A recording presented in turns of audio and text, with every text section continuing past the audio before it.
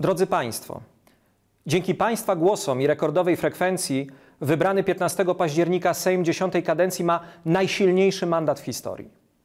W tym tygodniu posłowie i posłanki zdecydowali się powierzyć mi zaszczytną rolę marszałka Sejmu. Dziękuję za okazane zaufanie w głosowaniu, które jest jednocześnie dowodem na stabilność nowej większości. Sejm ma przede wszystkim służyć tym Polakom, którzy na co dzień w nim nie bywają. Będzie bliżej zwykłych, codziennych spraw. Przez tych kilka dni wprowadziłem już w Sejmie pierwsze zmiany. Zniknęły bariery, które od siedmiu lat niepotrzebnie odgradzały parlament od Polaków. Otwieramy znów Sejm na media. Zdecydowaliśmy też o poszerzeniu prezydium Sejmu tak, by mogli nim zasiąść przedstawiciele wszystkich klubów parlamentarnych, od lewicy po konfederację. Tego wymaga szacunek do państwa głosów, bo demokracja to rządy większości z poszanowaniem praw mniejszości. Jak Państwo wiecie, Sejmowa większość zagłosowała za pięcioma kandydaturami na wicemarszałków, a odrzuciła kandydatkę Prawa i Sprawiedliwości. Chciałbym zapewnić wyborców Prawa i Sprawiedliwości, że miejsce w prezydium Sejmu będzie czekało na przedstawiciela państwa partii tak długo, jak będzie trzeba. Tak długo, aż klub parlamentarny PiS zgłosi kandydaturę posłanki lub posła, która spotka się z pozytywną oceną swojej dotychczasowej pracy przez większość koleżanek i kolegów z Izby.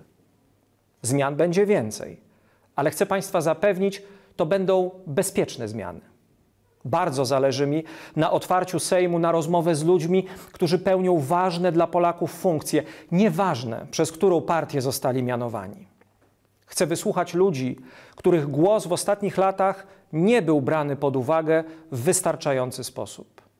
Dziękuję panu profesorowi Adamowi Strzemboszowi za wczorajszą rozmowę o naprawie praworządności z poszanowaniem konstytucji i z korzyścią dla obywateli.